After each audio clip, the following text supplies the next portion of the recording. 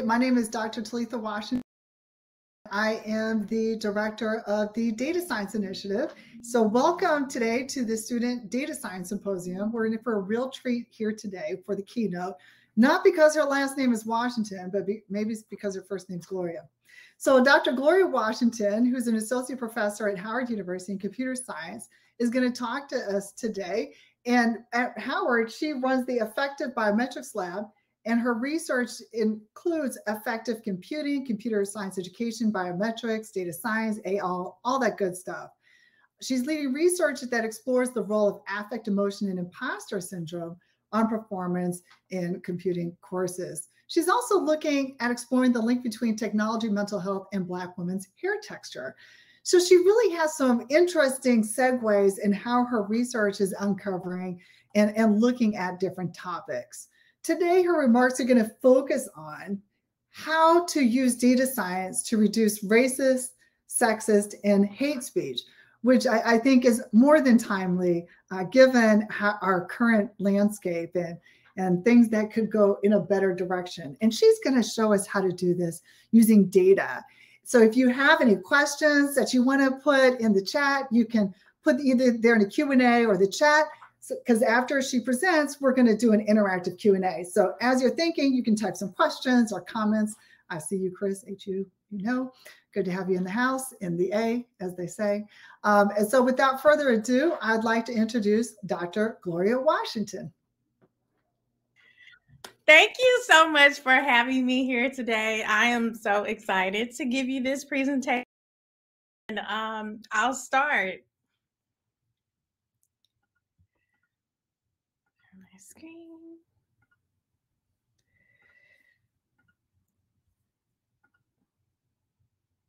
Okay, so uh, today I am going to talk with you about using data science to reduce racist, sexist, and hate speech and um, a little bit about me before I start. Gloria Washington, Howard University. Um, I'm an associate professor now, yay me, in computer science. I graduated from a smaller HBCU in Missouri, uh, Lincoln University in Missouri, 1866. So, uh, and then I uh, moved to the Washington, D.C. area and went to George Washington. So um, my areas of expertise are human centered computing, but uh, personally, uh, what I like to say about myself is that I want to increase the number of Black women that get PhDs in computer science. And so um, at Howard, like we've been focusing on um, really doing that. And so I also love undergraduate research. And is that a crime?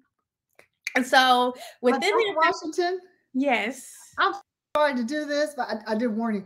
Uh, we, we have a, um, a presenter in the house. I, uh, Dr. French is here and wanted to say hello. I, I, don't see him on the live platform, but I'm wondering if he could put his comments in the chat. I think he has joined as an attendee and not coming through the stage. But Dr. French, go ahead and put a hello there in the uh, chat.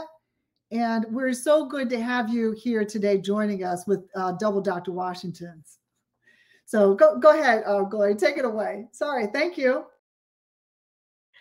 Thank you. Okay, going back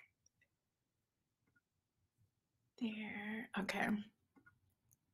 So in the Affective Biometrics Lab, me and my students, what we work on is truly trying to like marry um, behavioral information with like physiological and or physical characteristics so we can ask these sort of questions.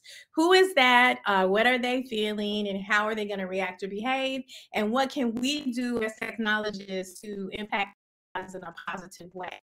And so um, today, what I'm going to talk with you about is kind of how this uh, idea of using data science and AI and ML kind of sprang and uh, caught my attention and also my students' attention because we're working on it all together.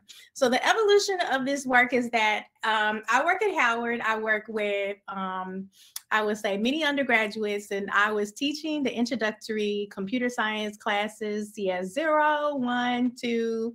And so a lot of my students would come into the office and then get um, advice on how they can get through the technical interviews. And one of the things that the students would always say to me is that, well, you know, these technical interviews, it's not only just about like um, my technical skills, it seems like I always get these sort of things that the interviewer would say to me, well, you should know this, or they don't teach that at your HBCU, or even sort of microaggressions related with how tall they were. Um, there was a specific student that that said um, a specific interviewer said to them, "We're comfortable in Silicon Valley, but not that comfortable." And I've I've been to Silicon Valley myself, and we see individuals who wear shorts for interviews and who basically roll out of bed and come to work. So I was like, that was an interesting question because they always say, come as you are. And it's really just about, you know, um, your ability to code, but obviously it's not. So, therefore, for me, what I wanted to do was figure out, okay, put myself in um, the the shoes of my students. So, therefore, I went to Silicon Valley, and uh, as part of the faculty and residence program that Google also has and other companies also have, we were like exposed to the technical interview itself. I actually did several of them, and it's stressful. I forgot everything that I knew and I'm like, I actually teach this class. I know nothing.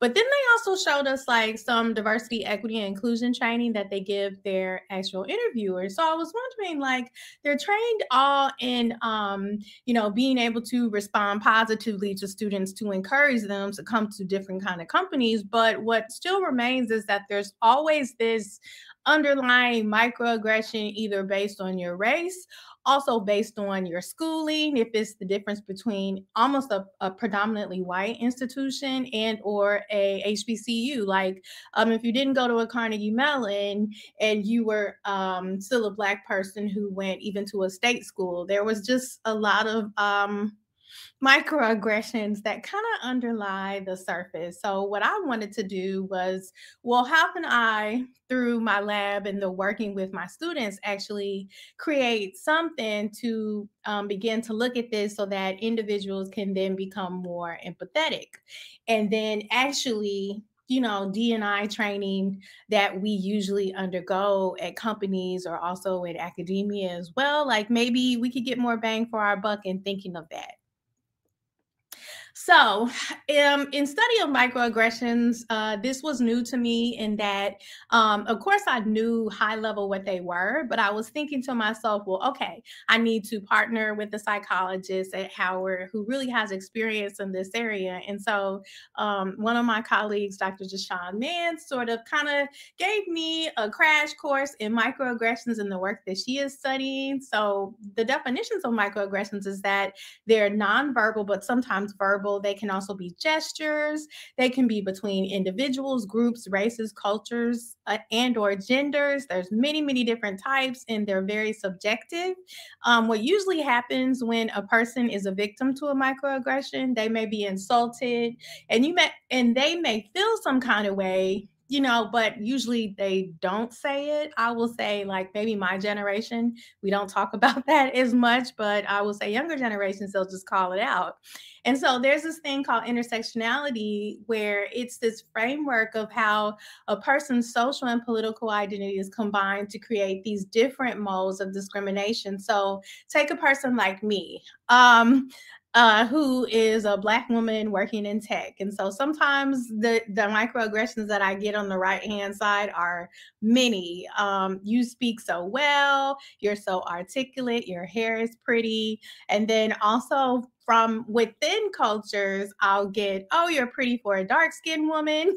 People have said that or um, oh uh, you're so smart to have went to an hbcu so because of my lived experiences this intersectionality of the different microaggressions that um, assault me on a daily basis is like many. But i will say uh, you just get used to hearing them and i'm pretty sure that everyone on the line kind of gets used to hearing them so for me, when I wanted to actually look at uh, this area, there's so many different things that people talk about with D&I, and I always wanted to be um, immersed in the technology only, but I had to know the, the definitions of D&I. And so for me, I was like, okay, well, diversity is this representation of a range of traits and experiences and inclusion is the degree to which employees feel valued respected and accepted and then equity is promoting justice impartiality and fairness. And so within these companies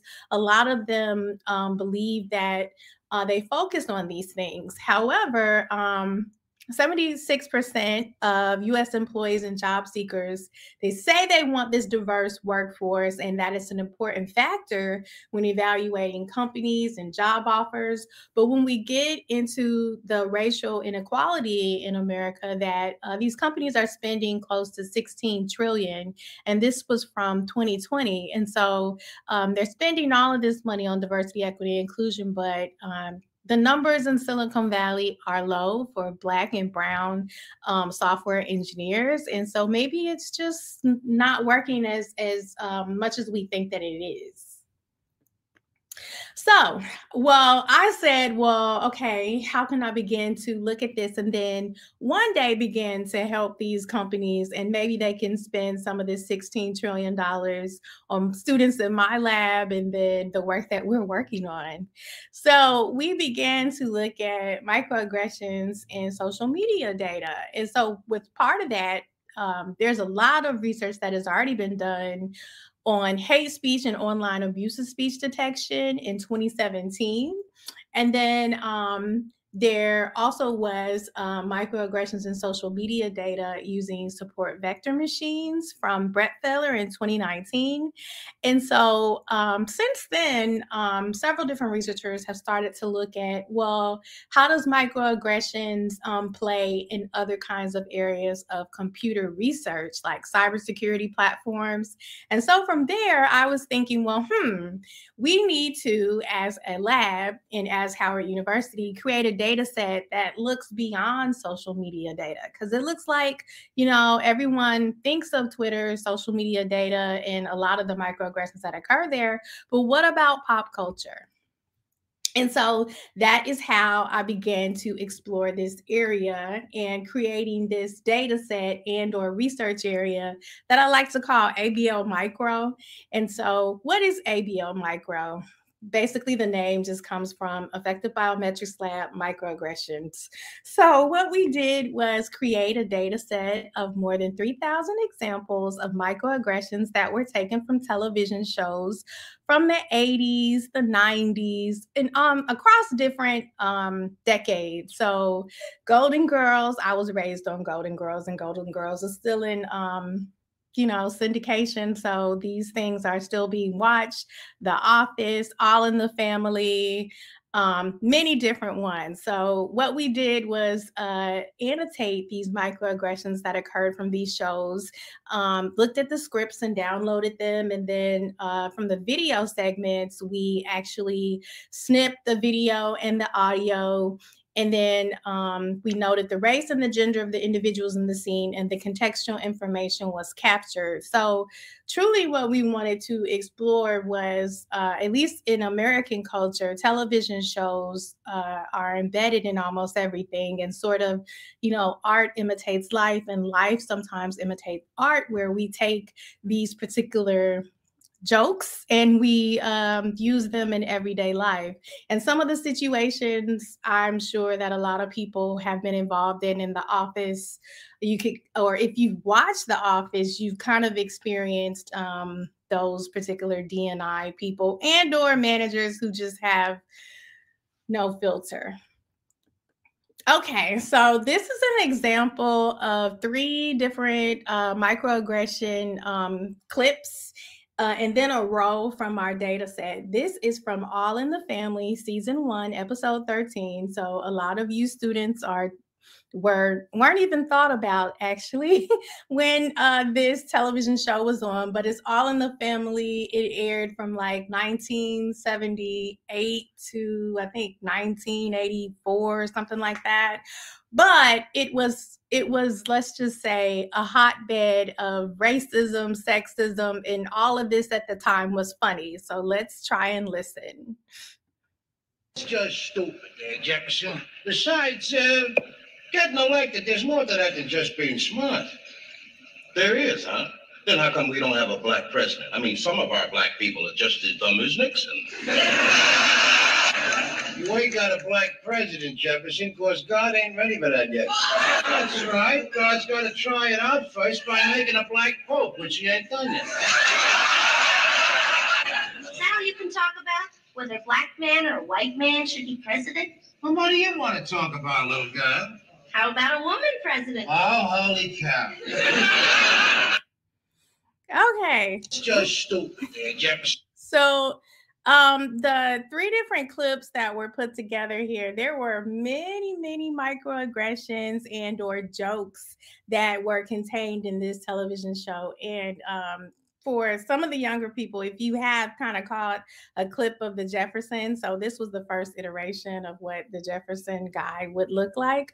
But anyway, so in this case, Archie, um, the first he says, uh, that's just stupid, Jefferson, you know, the thing about the black president. So um, at the time, of course, when this aired, there wasn't even a thought of a black president, and that was a negative thing. And then also he says that um, well, Jefferson says that, you know, a black president can be just as stupid or whatever as anyone else.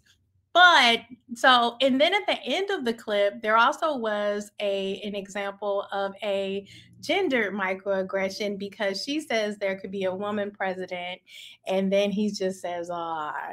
So if you think about how individuals like myself, um, telling my age, who were raised on this, and we used to laugh at these individual kind of things, how then these sort of jokes either um, you know permeated society and or script writers took it from their own sort of personal experiences but we wanted to be able to use this information and provide it to researchers so that they would be able to use it in their research as well. So from there um, we looked at well not only just like releasing this to the public, but then also using this for models. So we are creating machine learning models that will then eventually be able to identify the microaggressions that not only would occur in the text, occur in the speech, and then hopefully one day the um, gestures. Okay, so the inspiration um, for this is to also um, look at how some individuals believe, well, there isn't this field of microaggressions and that it just really doesn't exist. And then, so Lilienfeld in 2017 said that it is certainly possible microaggressions can, in some cases, be harmful, but we need to study this phenomenon better to encourage difficult conversations.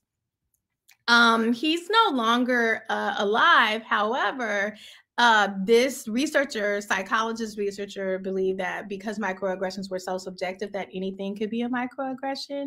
So um, from there, we said, well, okay, uh, we have a model that's working currently using support vector machines and then also um, other machine learning algorithms. Can we utilize this in healthcare research to be able to help black and brown patients as they go to the doctor. And so, if you know anything about healthcare, um, black and brown patients feel less.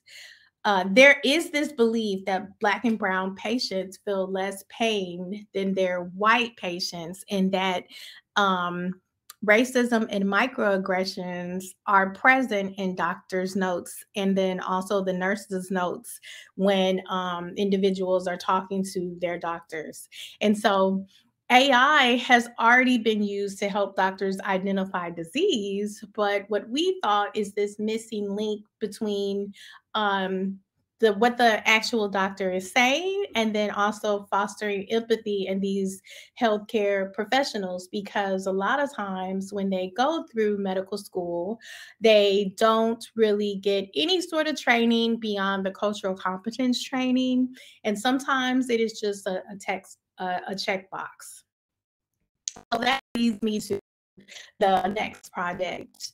And this project um, will utilize the information that we got from the ABL to be able to identify the microaggressions hopefully in what a doctor and or nurse may enter into their diagnosis plans.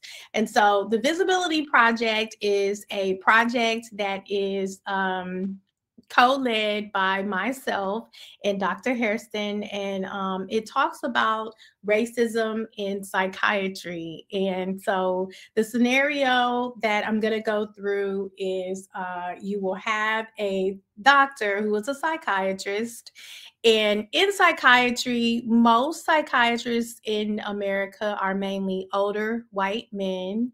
And um, on the other hand, the individuals that are most likely diagnosed with schizophrenia and some of the other disorders that really can affect people's lives with their jobs and, and maintaining their home life are Black men. Black men are the number one individuals who are diagnosed with schizophrenia. And then oftentimes they are misdiagnosed. It, it truly is uh, relates to culture. So, in the particular visibility project, what we do is sort of um, go through a day in the life of Malcolm. So, this scenario that I'm going through is just something that Dr. Thompson would possibly say to a Malcolm and is uh, you people are always late. Why can't you just request the day off from your job on appointment days? And so Malcolm, who's the patient, I'm I'm sorry I'm a little late for my appointment. My job doesn't offer PTO. I just want to get better. Please don't cancel this appointment. And a lot of times, individuals that are diagnosed with schizophrenia actually are lower income and have trouble uh, getting to the appointments. And these appointments usually don't last a long time. So he wants to take his medication and just get better for his job and for his family. And so um, you're not following your diagnosis plan. I can't tell. I can tell you're not taking your meds.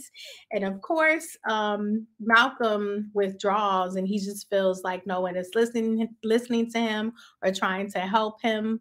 And basically, um, Dr. Thompson is noting this agitation and this withdrawal, usually in the diagnosis plan that will accompany Malcolm for the rest of his um, medical journey and or life because electronic medical records stay with you forever. So once you have that diagnosis you can't get past it.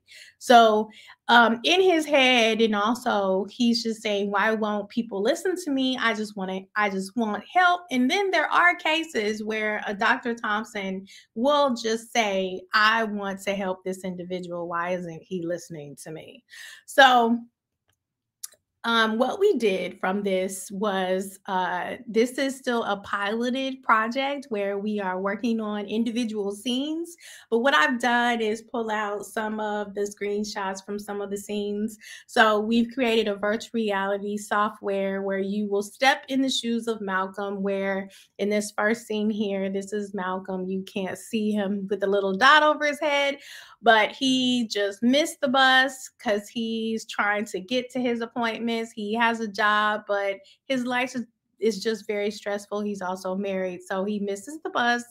And then he finally is able to uh, get to his appointment. And once he's able to get there, um, his doctor is rude to him and basically says, in this particular scenario, I'm not going to get into your educational attainment or lack thereof. You should be able to get another job. Like, so there are many times that the doctor won't understand about not being able to take off work.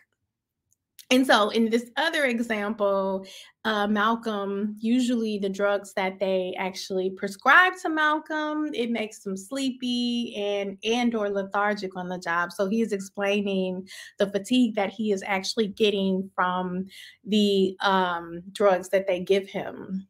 Um, I would have played the whole scenario, but I know that my whole time here, I don't have a lot of time. So um, at the end of this, the medical students that we are working with at Howard University Hospital in the psychiatric department will fill out um, their experiences and what they actually got from this simulation of them actually seeing a day in the life of Malcolm. And so they'll fill out information, demographic information, of course, who they are, but then they'll also fill out um, related to what were their thoughts on the specific aspects about him, what kind of diagnosis do they want to give him?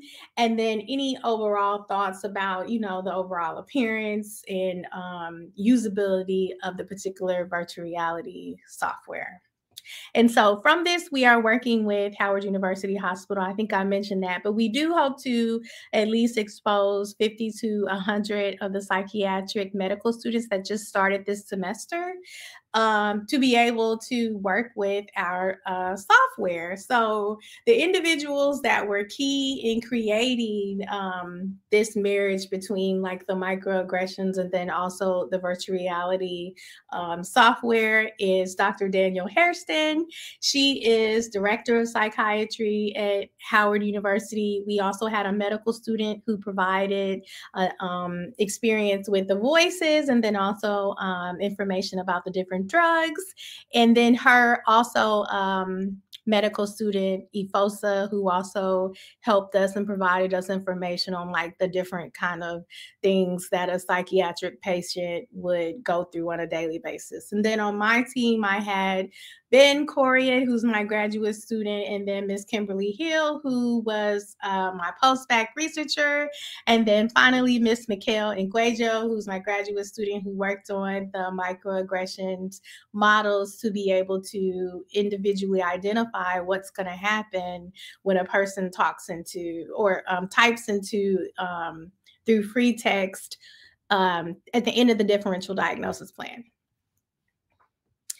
So, what we are doing from there uh, is creating from both of those individual experiences, you said what kind of thought experiments. And so, it's not really to punish individuals who, who say microaggressions because I'm pretty sure that I say them or you know within my friend group or within my certain element and so i also need to get better as well so in doing this, it would be great to have these you said what thought experiments that would show an individual based over time what they said, you know, on a quarterly basis. And so then that information could be relayed back to diversity, equity, and inclusion specialists and or individuals who work in those technical interviews to show them how they can get better and encourage students rather than discourage them from that process.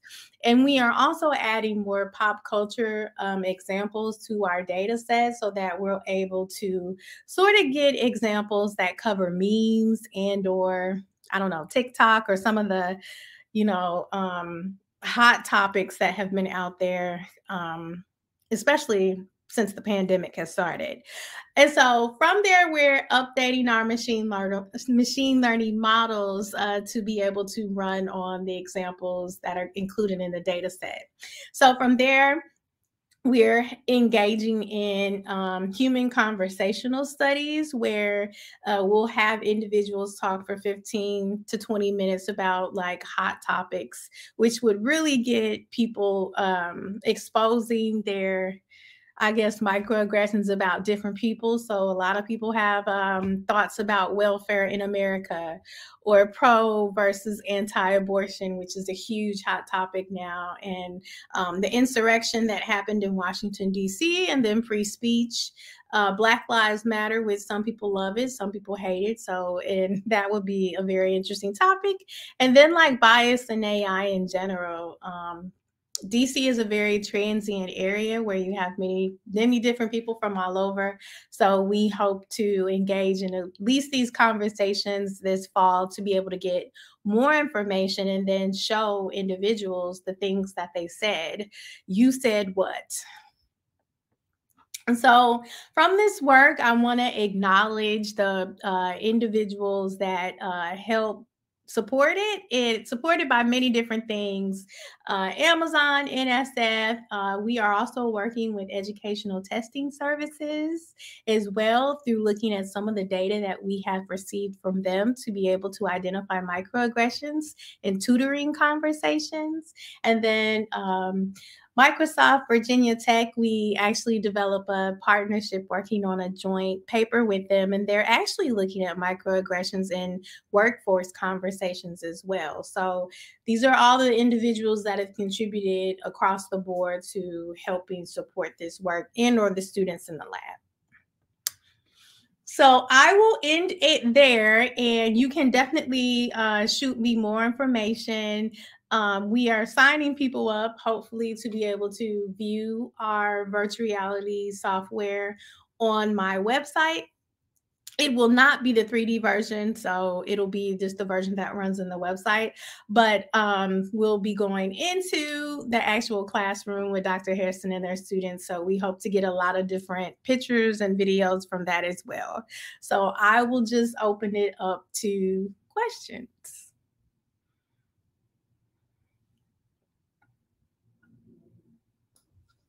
Thank you so much, uh, Dr. Washington. That that was great, and I'm going to put a link to your lab here in the uh, the chat there. I love it. I mean, you're doing some really, and, and I echo Shai's comment.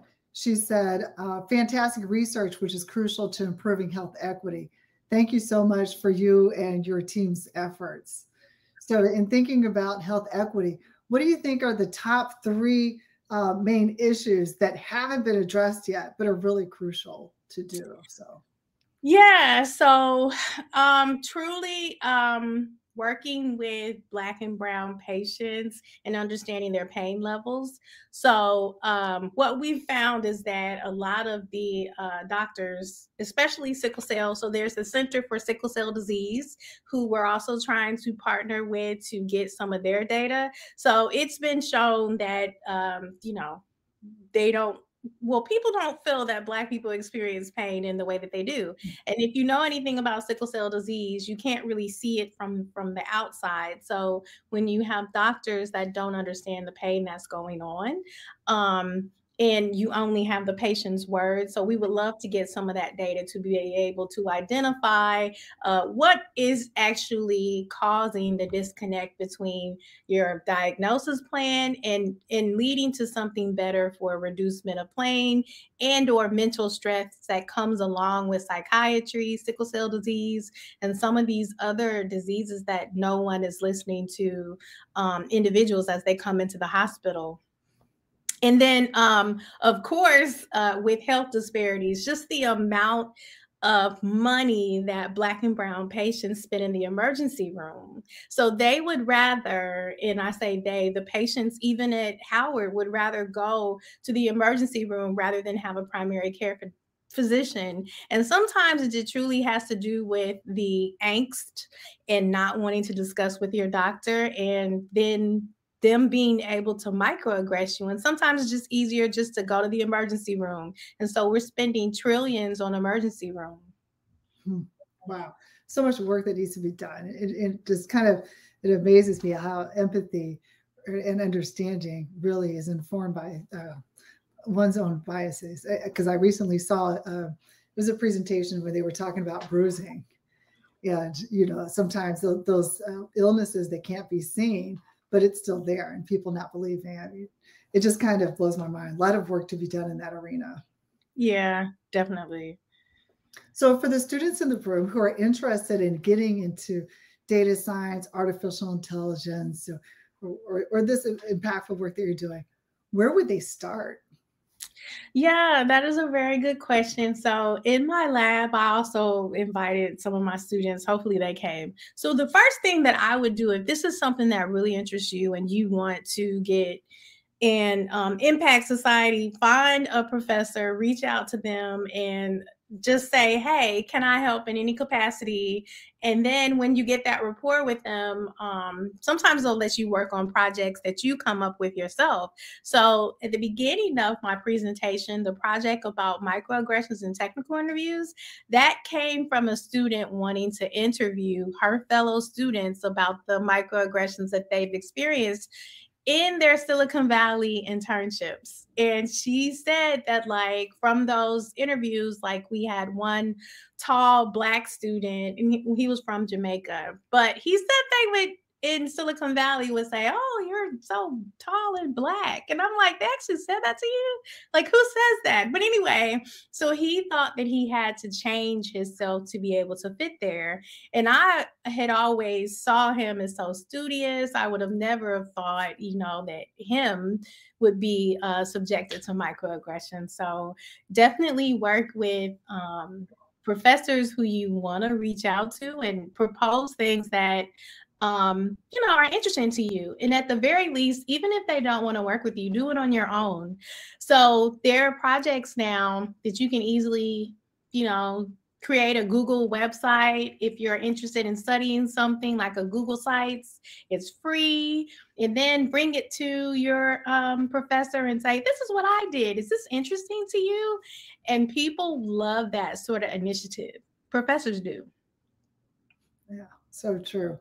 Um, I know Stephanie put in the chat. They she said that um, you people is a trigger in and all by itself. And I, even though I'm a grown up, depending on when I'm and how I'm talking, I'll get you're so articulate.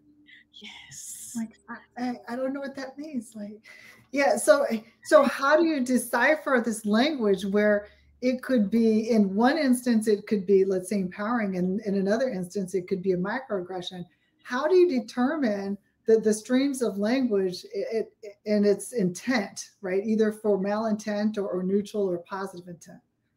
Yeah, so there's a whole like psychologists are still struggling with this. So from on one hand, you will have individuals like Lilienfeld who says, "Oh, this area doesn't exist," like that there aren't microaggressions, and it's because it's so subjective and individuals you rarely have an individual that will say yeah i actually said that to that person and i meant it kind of thing you know? So that's why i think it's very important for this research. I'm trying to get through those thought experiments individual examples that not only the speaker will actually say they said it. And then also the person to say how it made them feel and any information like heart rate, heart rate variability, and show them this is what mentally that did to that person. So it's so subjective, but um we need with data science just to show them across the board and across different cultures that we're all saying it. We're all saying individual things that makes people uncomfortable. So how then in workforce environments where it really is about the productivity do you limit those things? Yeah very very well said. And uh, somebody chris put in the chat as if you thought it was going to be something different. It happened to me two days ago. So unfortunately it does happen and Takia put, she, she asked, what more actionable actions will it take for the microaggressions, racist and sexist culture to, to end, or at least a friendly amendment decrease? I'm not sure if it will ever end. Uh, what are your thoughts on that?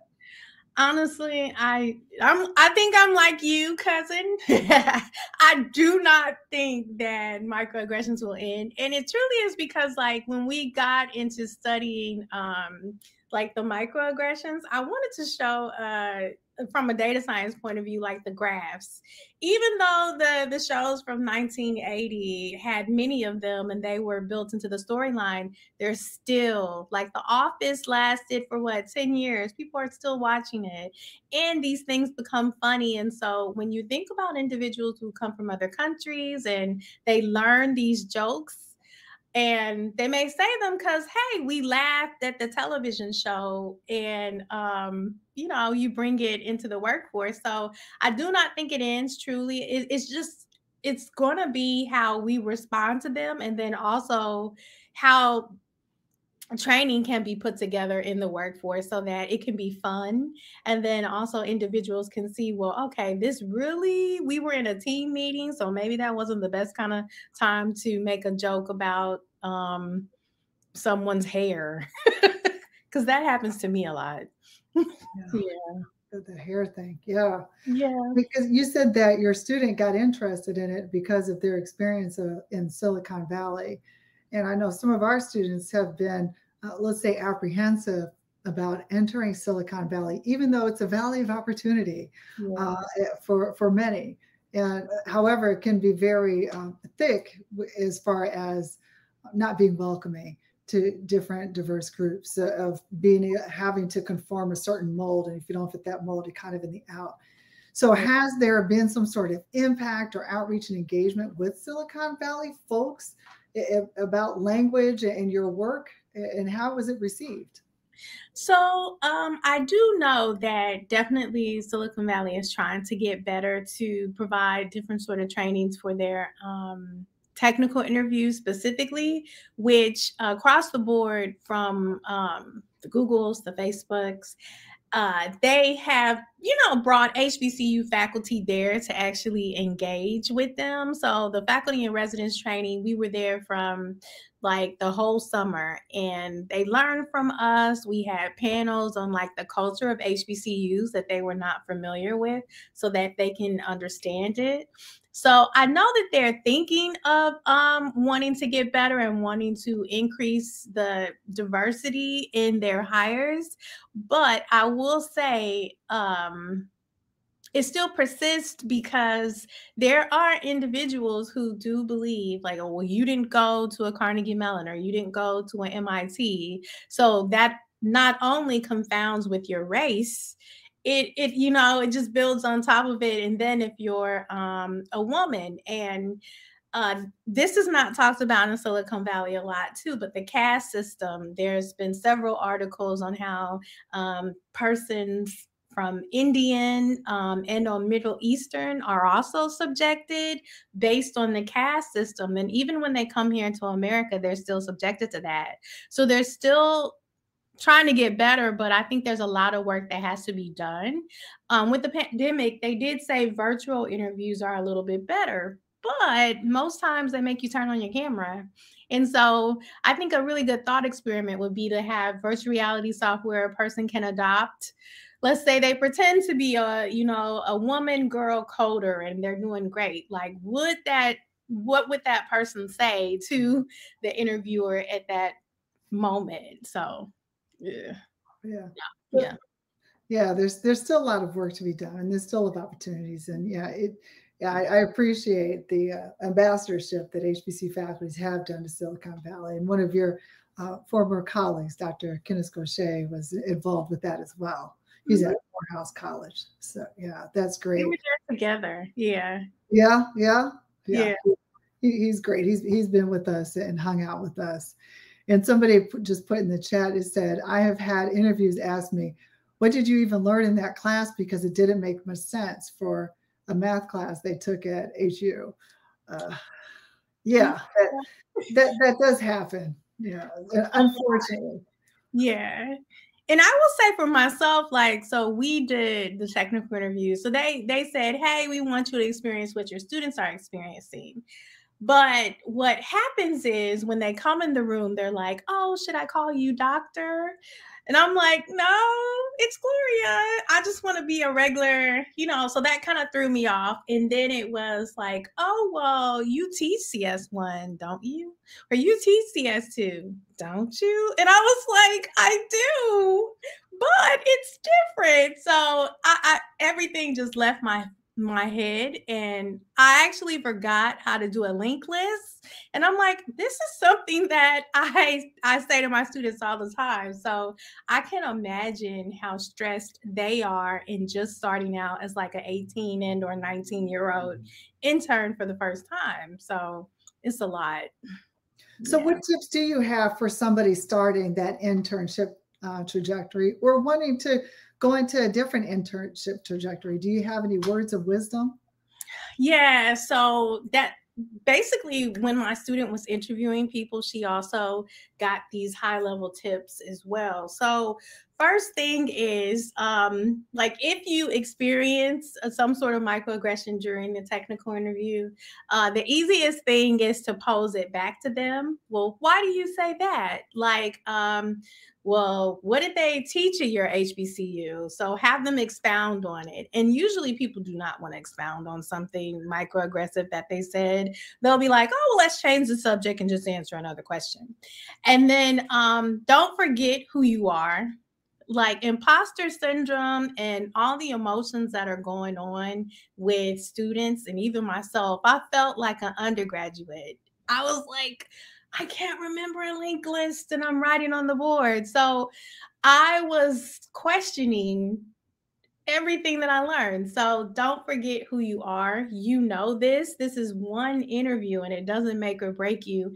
And they need you to impact their environment because, at the very least, they don't have a lot of Black and Brown students that are going there. So, just your experience being in that environment will help them. So, you got to remember who you are and that you don't beat yourself up if it goes good if it goes bad. It's just truly an experience for you to learn from and hopefully to teach them if you turn it back on them. Well, why do you say that?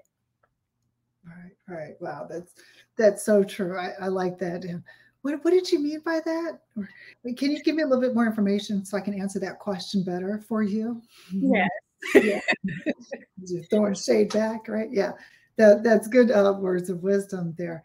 And you said that um, students they take action in creating projects. So how do students go about doing that? In particular, for students who may have not started up a project with a faculty member, what could that look like? Yeah, so um, in the case of the student that wanted to study her peers that went to Silicon Valley, she had a horrible experience where she interviewed 10 times with one company. This was in her senior year, and they still didn't end up hiring her. So she that's why it was passion like she had so much passion to understand like what is going on here. And so with that, she created a website, had people sign up times that they can come talk with her.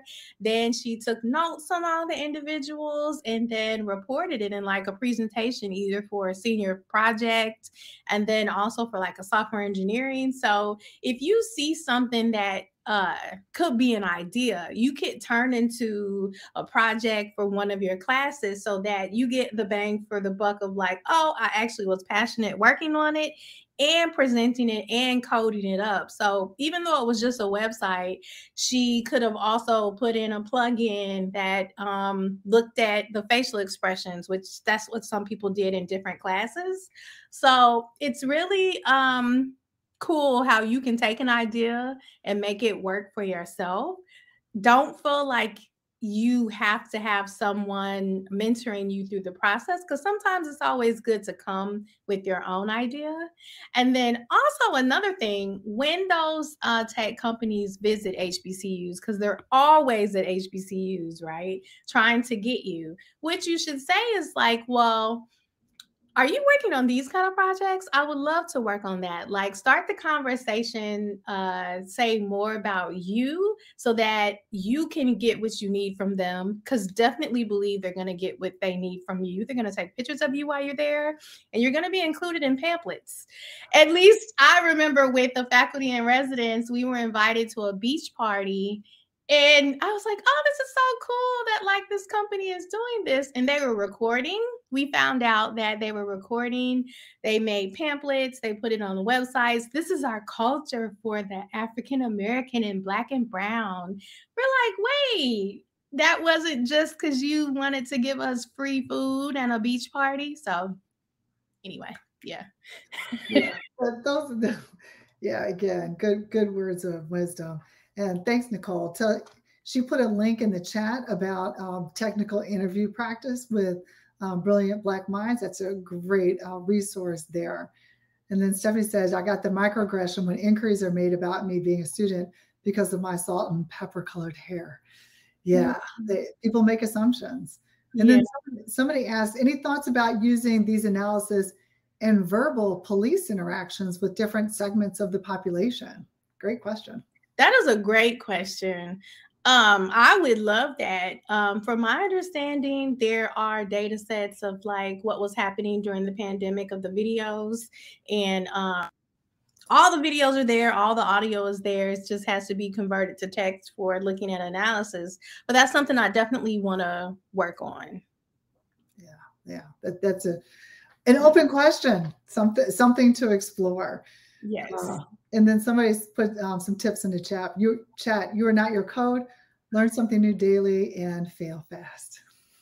Oh, and then like if you take the initiative for like a side project, always say that in the interview too, because they love that. They're like, oh, this was a thing that you created. Uh, definitely, here's my GitHub, here's my website to take a look at that project that I created. They love initiative. Oh, yes, definitely. And so your work, it really intersects with different disciplines. You mentioned linguistics, and then you have the health sciences. And so people in health or in medicine. And I can imagine other fields as well. So who who do you collaborate with? And can you tell us more about the, I'm assuming here that there's a team um, spirit somewhere in, in your work and how you do your work. Can you share a little bit more about that? Yes. So, um, when we first started out, I did not know much about like microaggressions. I knew that people said them to me, and I was just like, oh, this is like something I guess I'm going to have to get used to forever. But there's a, a whole body of work. Uh, so we started working with uh, Dr. Jashawn Mans, who is in psychology. She not only trained my students on the different kinds, I didn't even recognize the different kinds racial, gender, intersectionality. Like there's so many different different kinds.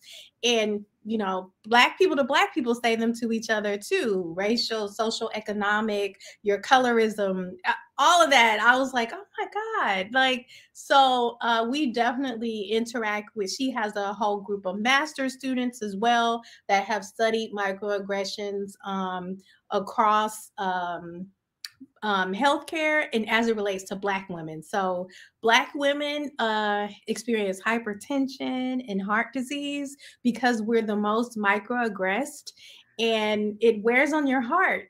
And I didn't, I didn't realize that either. I was like, wow, so um, then we also have individuals in linguistics. Uh, we met a team of researchers from Virginia Tech that are looking at workplace. So they're more human resources and business who actually want to get into helping microaggressions from the business perspective of like return on investment for companies if they tackle these hard problems in the workforce and like those teaming environments. So um, I know with computer science, uh, we think we can kind of handle it all and we don't need outside, you know, help. But uh, I've definitely leaned on psychologists, um, sociologists, and then also um, just individuals who can just give us some information about ethnographic studies, like how what kind of for different people. Uh, what is the culture versus um, Southern versus Northern versus like the West Coast? Um, it, it's just so much to learn. So definitely we're interdisciplinary, and I know that I couldn't do it uh, alone. So I would love to even have a bigger sort of effort that is some sort of convergent workshop where psychologists, people from the tech field come and we just all engage in these thought conversations to help us get better. That's wonderful. Yeah, because here we we like to have different disciplines come together and, and and look at data science, and that's one of the the joys of data science that really cuts across uh, multiple fields. There's a group of uh, fantastic faculty at Clark Atlanta from the School of Social Work that are that led a summer data social work core, and we also did a workshop in the intersection of data science and prosecutorial performance. So there's a bunch of uh, data geeks and, and criminal justice folks in there thinking about how do we use data science to look at uh, the performance of prosecutors' offices and be helpful to them. Yeah. Uh, so yeah, that's that's one thing I really like about it. That it's not just the the data science. Obviously, there, you can go deep in the technical, but there's a lot of neat applications in different arenas. Yeah, definitely. And at least for me, I didn't I did not recognize the amount of money that companies are spending on D&I. 16 trillion. Like, can you imagine if like a little bit of that is peeled off in some sort of fashion where it makes a difference in a you know, specific HBCU community. So if we're working on this, hey, give us a piece of the 16 trillion. so it's good to have collaborative. I, I know we've enjoyed our relationships with our industry partners to kind of think through how should we do things here, and then also in the conversations they're thinking on their end. Well, how should we do things uh, from yeah. our end? And how do we just better engage and work together? So it, it, it is good to have it that ecosystem all together with students, with industry, with faculty, and, and performing those networks because it, it, takes everybody. Right? Yeah, definitely. Yeah. yeah. So I really appreciate you spending time with us and your, I think your work, your research is really um, interesting. It just hits different topic areas and, and really impactful. And it really shows neat ways on, on how you can use data science as a tool to uncover, uncover what's happening in, in communication, which is vital in, in multiple ways that you know can't can't be understanding from like somebody said in the chat um, policing interacting with different po- segments of the population to health to the interview to the workplace to, to everywhere to walking down the street or sitting at a hotel and somebody thinking you're the help right so okay. it's yeah and there so it, it, it, it is important and we're really thankful for your work and and look forward to hearing more about um, maybe the impacts and how can it inform how we can just communicate better. Because I, I come from the, an optimistic view that people want to communicate well, yeah. but sometimes we get, you know, maybe some all in the family verbiage that's kind of embedded in our head somewhere. I think like I play back in my head certain scenarios and start to laugh at them. It's like, gosh, that kind of mirrors the office. And if it's in my head, I know it's in yours and everyone else's. So yeah, yeah. Yeah.